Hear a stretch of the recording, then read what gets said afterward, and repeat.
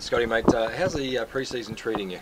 Yeah, pretty good. Um, it was a bit slow for me. I was still recovering from a groin injury from um, last season that I kind of battled with all year.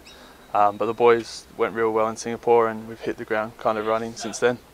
Did you uh, have surgery or anything, or is it just a monitoring sort of thing? Um, no, I was close to having surgery, but um, me, the physio, and the club doctor kind of put a procedure in place where I do a lot of extra rehab and a bit of Pilates, and um, it's just getting stronger and stronger by the week. So, um, been back to full training a week and a half now, and just looking forward to keep going. Will you be playing tomorrow night? Um, I think just maybe half an hour or so, see how we go. Is that, I guess, is that an ongoing thing for you now? You just sort of monitor it uh, ahead of the season? Yeah, well, um, the whole of pre-season last year I got through with no problem, and then just before the first game, um, it kind of came on then, and it just had lingered all season. So just have to make sure I get it right this year to um, kick on and have a big year. All right, mate. What do you put down as goals for this season? Um, personally, or with the team? Personally. Uh, just to be more consistent than last year. I think um, I probably didn't live up to. Well, I didn't play as well as I should last year, and um, made a few mistakes. And just I'm big enough and ugly enough to know that. And this year, you know, I've got to come back and um, show what I'm worth, I guess. Uh, in the assessment, I guess after the season, did Gary give you anything that he wanted you to work on?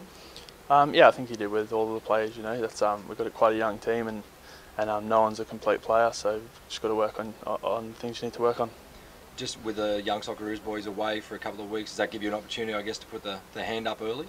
Um, yeah, uh, it's a great opportunity for those boys over in Turkey. You know, I'm sure they're all going to enjoy it, and there's some good players there. Um, but there's also some good players back here, so it gives a chance for all the boys to kind of um, put their stamp on their position and, and hopefully nail it down. Playing against a team like Uni, um, they're not obviously NPL and state league level; they're down below that. Is it just a matter of a good run for you guys? Yeah, it's um, a good run and also uh, a test to see um, kind of match fitness and also what we've been working on. You know, um, just make sure we, we're nice and sharp and and um, get through the game. Is it also about, I guess, building confidence in these trial games? Yeah, that's it as well. I'm sure some of the players um, also gives them a chance to play against people like you know Michael Bridges, who's played in the Premier League, and and um, other players. So it's good for them as well. And in terms of the players that will be lining up tomorrow, do you expect sort of most of the, the squad to have a run?